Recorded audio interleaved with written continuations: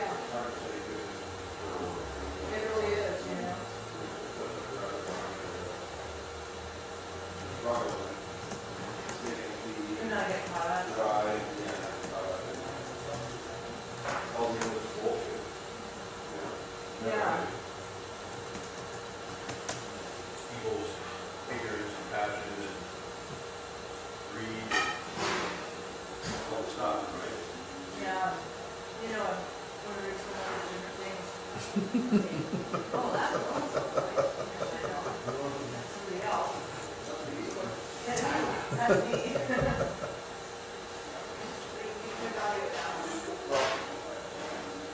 you know.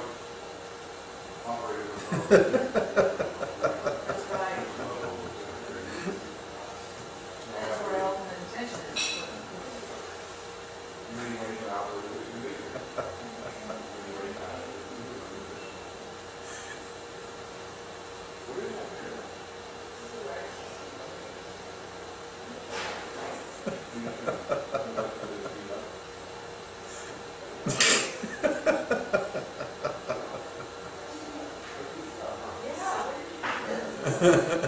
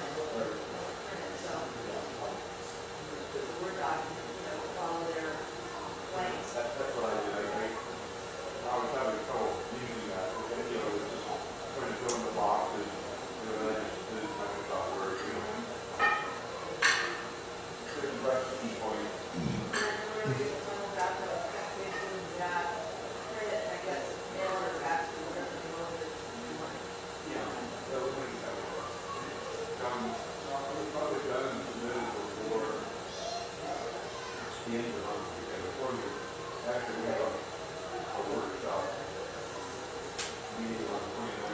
Mhm. We'd like to see saying at that time. Okay. This is And out, I know Alan mentioned this in the weekly meeting, um, we might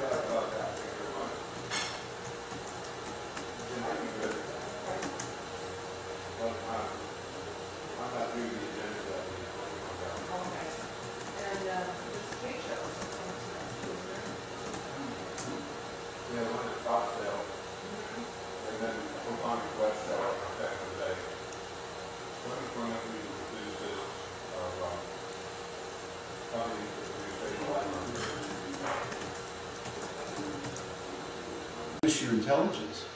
It's just that hurting other people is, is one of the things that diminishes your intelligence faster than anything else.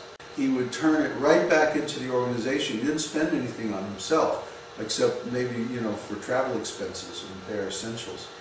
Uh, but everything was invested in uh, glorifying Krishna.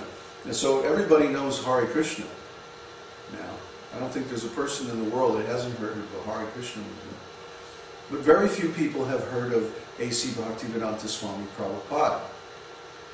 Only people who actually become disciples or devotees. Hmm? Because he didn't use all this material opulence to glorify himself. He used it to glorify Krishna. So uh, that was a perfect example of using money for a spiritual purpose. Course, that other other his disciples, you know, they weren't on the same level of advancement, and they made a bunch of mistakes and misused all that money. But that's a different story. His, his use of the money was impeccable. Therefore, he was able to uh, create a huge network of devotees and temples and different projects all over the world in a very short time, just a few years. So we don't have that same talent in business. I always ask for advice, you know, from Uddhava or one of my other disciples who understands um, business concepts. Um, I don't like to handle the money myself because I'm, I'm really not very good at it. Um, I'm a visionary.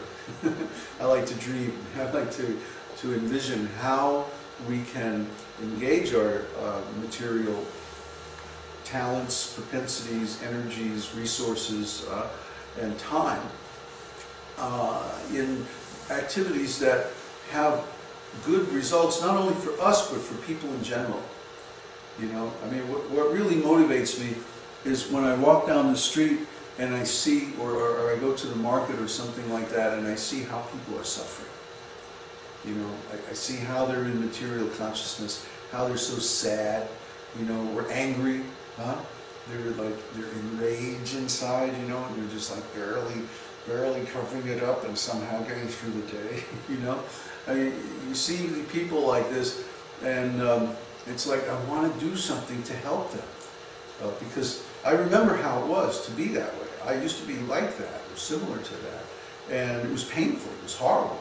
And there was no way out. Uh, because in the material world, if you're in material consciousness, you know, that's it.